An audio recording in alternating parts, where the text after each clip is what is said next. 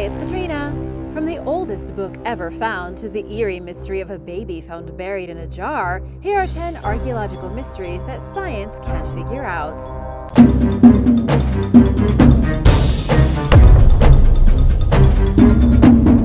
Number 10. The Golden Etruscan Orphic Book. This book is considered to be the oldest book in the entire world. It is also one of the most mysterious books ever. The gold book is made of 24 karat gold, consisting of six sheets with text and illustrations. The illustrations depict a man riding a horse, a horse with deer horns, and a legendary creature that appears to be a griffin, with the head and wings of an eagle and the lower body of a lion. There is a mermaid, a harp, and soldiers. Written in the lost Etruscan language, the book is actually quite small, only about two inches in length, probably because it was made in such a valuable and expensive material. The gold manuscript was discovered inside of a tomb completely by accident while workers were digging out a canal in southern Bulgaria. At the time this book was made, over 2,000 years ago, around the year 600 BC, Bulgaria was largely occupied by the Thracians. But the book was written by the Etruscans, who migrated from Turkey to Italy about 3,000 years ago. The book probably made it to Thracian lands through trade before the Etruscans were wiped out and absorbed by the Romans in 400 BC. The quality is unparalleled in the world of ancient books and even artwork. Whoever made this amazing artifact was a very advanced goldsmith who used some of the most progressive techniques known to the Etruscans. Experts from both London and Sofia confirmed the book's authenticity. Even though similar gold pages have been found throughout the ancient world, according to Elka Penkova from the National History Museum in Sofia, this is the oldest remaining example of multiple pages being linked together to form a book from ancient times. Number 9. The oldest home in history. In a cave in South Africa, archaeologists say they have found the earliest human home in history. Located in Wonderwerk Cave in the Kalahari Desert, Evidence shows that early humans were using the cave as a home over 2 million years ago. Modern humans didn't even exist that long ago, but our early ancestors found caves to be great homes. Researchers from the University of Toronto tested the cave sediments and found evidence of fire. Not only were early humans living in the cave that long ago, they were also making stone tools. But here's the really mysterious part. Archaeologists have never found a single scrap of human remains, meaning no bones, no teeth, and no kind of biological evidence to suggest that humans have ever lived inside the cave. So, how do researchers know that the place was occupied by humans if their bodies have never been found? The earliest evidence of humans using fire was found very deep inside the cave. Researchers found burned animal bones and the ashy remains of plants, suggesting the humans in this cave were the first to control fire for means of cooking. They also found traces of basalt sediment, something produced when a retreating glacier grinds against bedrock. They say the sediment probably got tracked into the cave by the humans living inside it. Of course, it's important to note that when I say humans, I don't mean like us. These were not humans as we know them, but are very, very ancient relatives. But definitely not apes, because they were able to make fire and use it in an organized way. These are the missing links that separate us humans from the great apes. Number 8. Mysterious Gold Crown A rare and mysterious gold crown believed to be over 2,000 years old was recently discovered inside of a rotting cardboard box underneath an elderly man's bed in England. This story is as strange as it sounds. First, the elderly man has requested to remain anonymous. He doesn't want any trouble to come from owning one of the most valuable ancient crowns in existence. He apparently inherited the crown from his grandfather and put it away, forgetting about it over the years. When he decided to root through some of his old stuff, he came upon the gold wreath. It is still perfectly preserved after being around since basically the time of Alexander the Great. The wreath, or crown, it can be called both, was used in the days of ancient Greece to crown artists and athletic superstars during competitions. It was also used in religious ceremonies, and according to the auctioneers who are about to put the ancient relic up for sale, it should be worth more than $200,000. The auctioneer charged with getting the most out of this mysterious wreath, a man named Guy Schwinge, says the artifact probably came from the Hellenistic period, between 323 BC and 31 BC, though it's incredibly difficult to properly date this kind of thing. It was probably made in northern Greece. Its composition is pure gold, and at the time it would have been hammered and molded into shape by a blacksmith. But the real mystery here is how this guy's grandfather got a hold of a perfectly preserved artifact worth so much money. He never told his grandson, and now we have no way of knowing where it came from. Number 7. Papyrus Oxyrhynchus 90 when it comes to confusing ancient codes, there isn't anything quite like a manuscript known as Papyrus Oxyrhynchus 90, or P-Oxy 90 for short. Sounds kind of like the workout program, right? But not quite.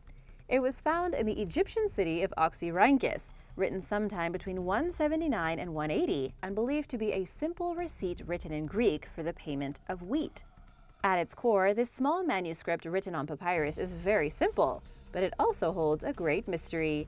Nobody knows who the author was, and the final two lines of the manuscript have never been translated into any modern language. Nobody knows what they say. The rest of the receipt is Greek, but these two final lines are some kind of demotic writing and possibly a cryptogram. The truth is that nobody knows why the last two lines are so mysterious. They should be completely boring text related to someone's wheat receipt, and yet they appear to be as cryptic as it comes. Number 6. Mysterious Amphipolis Tomb. The Ministry of Culture in Greece confirmed that the entrance to a secret underground room was found underneath the vast burial site of the Amphipolis tomb. This tomb comes from the era of Alexander the Great, and for the longest time, archaeologists feared they would never discover the secret of who was buried inside. But after discovering the hidden underground vault, some very interesting revelations have been brought to light. First of all, Whoever's remains were hidden inside the ancient tomb have been guarded by a pair of Sphinx sculptures for about 2,000 years. The tomb and its many chambers date back to between 325 and 300 BC. So far, all clues point to the tomb belonging either to the wife or mother of Alexander the Great. Experts say everything about it hints that it was intended for a very important woman. Some experts believe, however, that it was intended for his friend, Hephaestion, not his wife or mother.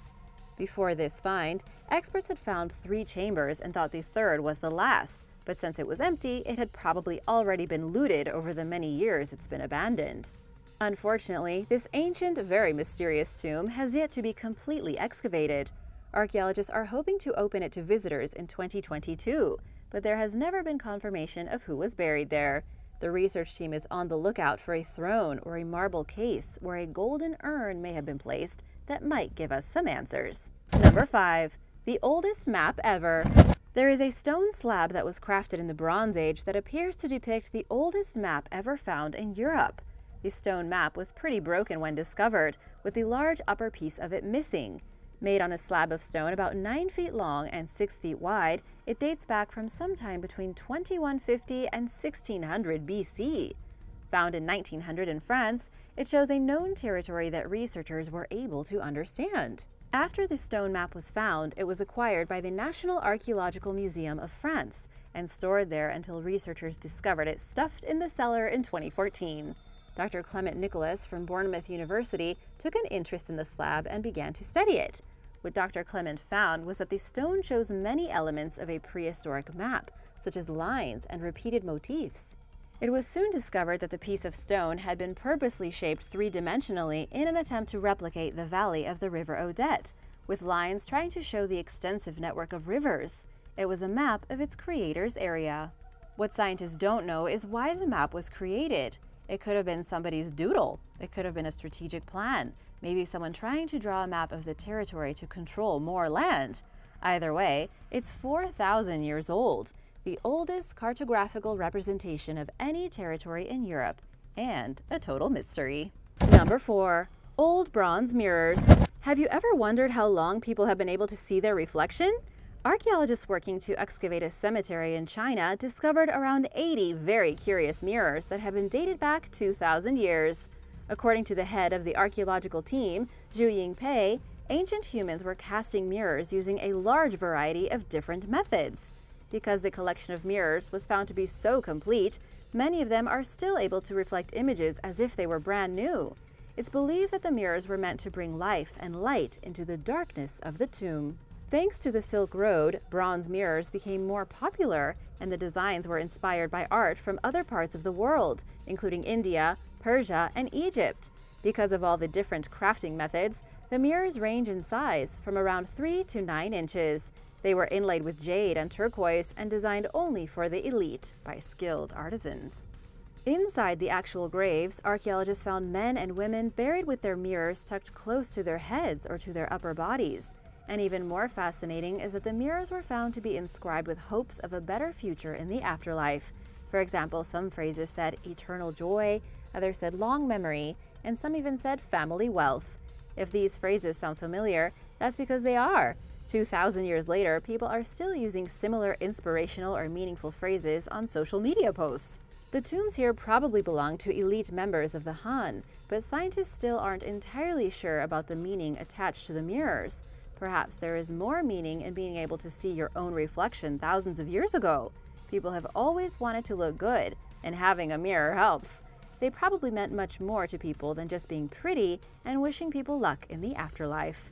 Number 3 oldest Mexican tomb.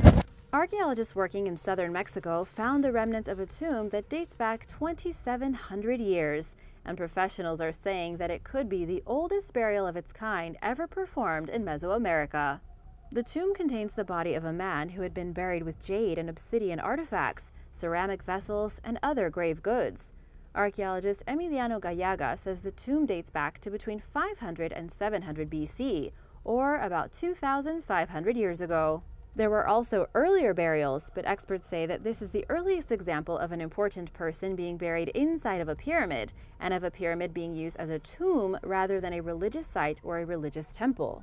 Back then, the pre Hispanic cultures constructed pyramids to mimic the universe as they knew it, with levels leading from the underworld all the way into the heavens.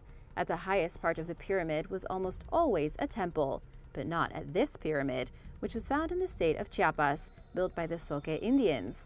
It's about 1,000 years older than the pyramid tomb at the archaeological site of Palenque.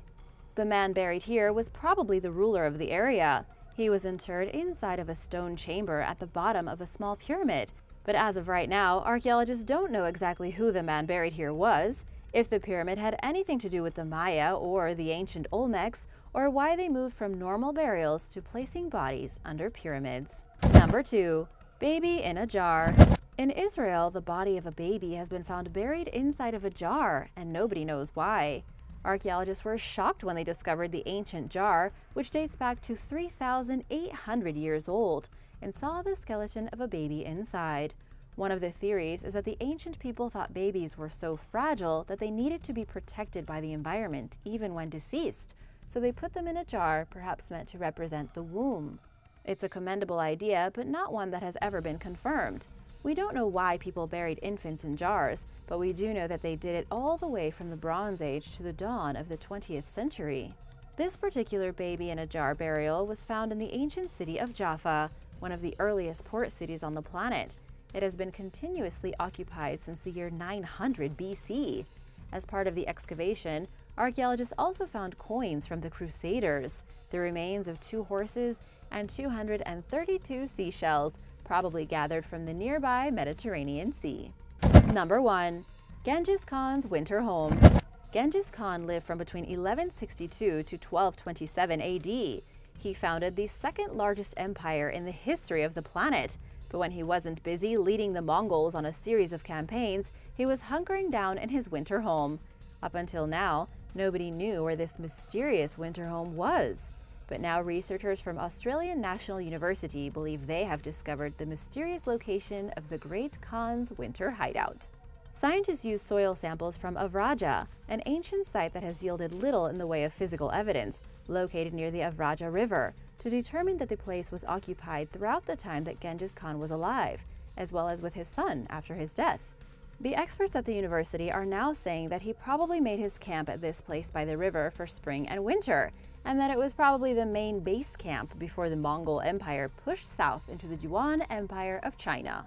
This site was largely abandoned after the 14th century. The only things archaeologists have found have been leftover bones, and as for the great Genghis Khan's actual burial tomb, it has still never been found. But discovering the place he once called home is definitely a great first step in trying to track down the final resting place of the Khan of Khans. Thanks for watching! Which of these mysterious discoveries did you find the most compelling? Which one do you want to learn more about? Let me know in the comments below, and don't forget to subscribe. See you next time.